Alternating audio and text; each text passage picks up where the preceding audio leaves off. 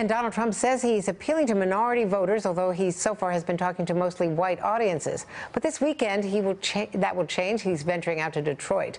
Accompanied by Dr. Ben Carson, he will be speaking at a predominantly black church.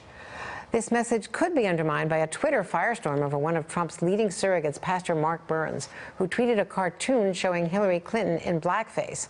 Pastor Burns is now apologizing. He's taken that tweet down. Joining me now is Republican Congressman Chris Collins of New York, who is a co-chair of Donald Trump's campaign House Leadership Committee. Thank you very much, Congressman. Um, always nice to be with you, Andrea. Well, it's good to see you. I want to ask about this whole storm over Pastor Burns, what he tweeted, whether this is the best way to reach out to the African American community?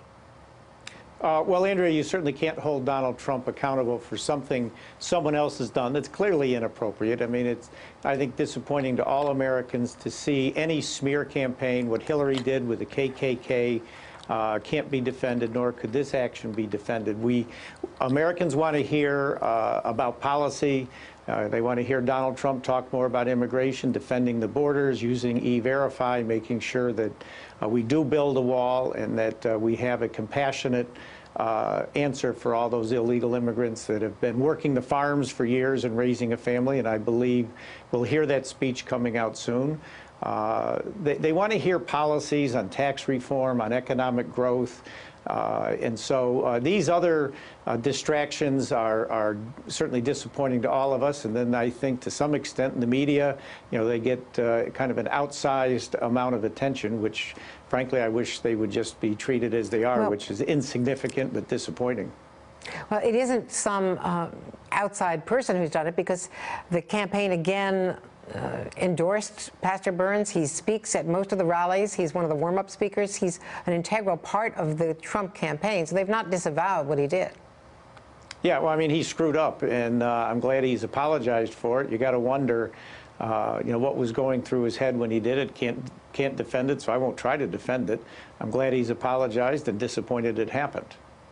How important is it for Donald Trump in his speech tomorrow on immigration to be specific, to explain what does he mean about the deportation force? What does he mean about uh, being, I think what you were just suggesting, more forgiving of people who have, you know, who came in illegally but have been here for decades and have proved to be uh, good, upstanding members of the community? Well, as you've heard with other speeches, whether it was uh, Veterans Affairs or, or, tax reform, I do believe Donald Trump's going to be very specific. Uh, unlike Hillary Clinton and Barack Obama, who have no plan whatsoever, I know that he's going to emphasize securing the borders and building a wall because he is going to build the wall. He's going to uh, deport those uh, illegal immigrants who have broken our law. Uh, he's going to uh, stress e-verify, which is a way for every agricultural uh, worker to be verified as being in this country legally. And I, I, believe we will hear uh, the, the, compassionate uh, work papers, a way to process illegal immigrants that have been here for an extended period of time, raising a family, abiding by the laws so that they can come out of the shadows, pay taxes, we know who they are.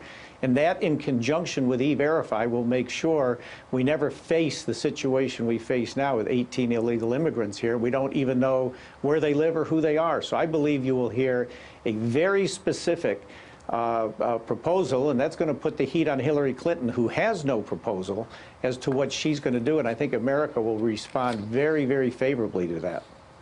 Well, we can't discuss her proposal now because we're at the end of the hour. Unfortunately, we'll have to revisit that another time. But thank you very much. Thanks, Congressman. Always good Thanks to be with you, here. Andrea. Hey there, I'm Chris Hayes from MSNBC. Thanks for watching MSNBC on YouTube. If you want to keep up to date with the videos we're putting out, you can click subscribe just below me or click over on this list to see lots of other great videos.